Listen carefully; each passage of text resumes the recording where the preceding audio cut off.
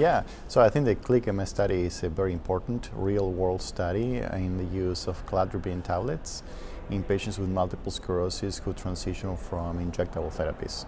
And I think the motivation comes from multiple uh, factors. One is cladribine poses a very uh, interesting mechanism of action in which the medication itself um, provides clinical efficacy of the high level clinical efficacy in patients with multiple sclerosis with a very unique um, schedule of administration. So the medication is given orally uh, based on weight. So it's one of the factors that makes this uh, very attractive from a patient personalized medicine standpoint.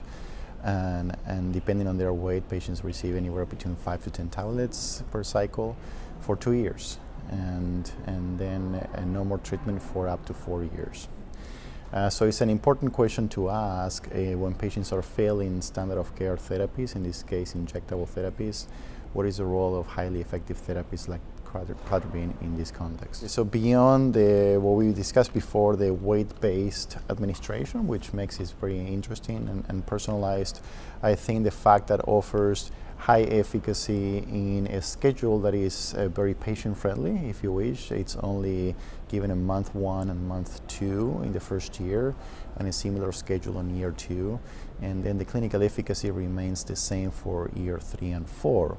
So patients on average, they only take anywhere between you know, 10 to 20 pills per year in the first two years, and then no more treatments uh, for year three and four, and they still sustain a clinical efficacy that is comparable to currently approved highly effective therapies. So the, so the study is still open for enrollment. Uh, we are hoping to complete the study in which we will have 200 patients. Um, and then we will be presenting data on demographics in the next uh, ECTRIMS meeting in DC in September. Um, so it's it's exciting because it's a it's a real world uh, experience in which we will allow uh, primary investigators to continue their standard of care practices in multiple sclerosis and still within the uh, confinements of a clinical study. The, the landscape of MS therapies, fortunately, is crowded, so we have so many wonderful options. Uh, so it becomes difficult to truly choose between different options for a given patient. I think cladribine is unique in not only in its mechanism of action, but also in the fact that uh, truly is an immune reconstitution therapy, right? So by affecting both T and B cell compartments, we are truly resetting the immune system, not only in terms of numbers, but perhaps in terms of function as well.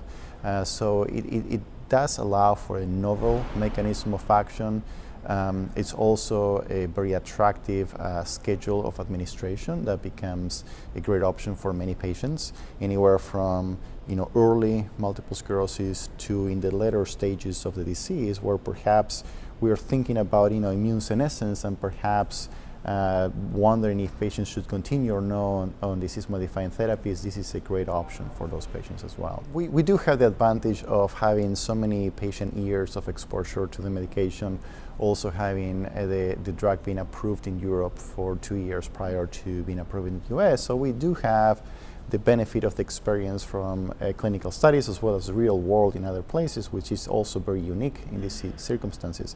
Um, so it's a matter of understanding the mechanism of action, understanding what will be the right patient for this intervention, and also becoming more comfortable with the administration of cladribine.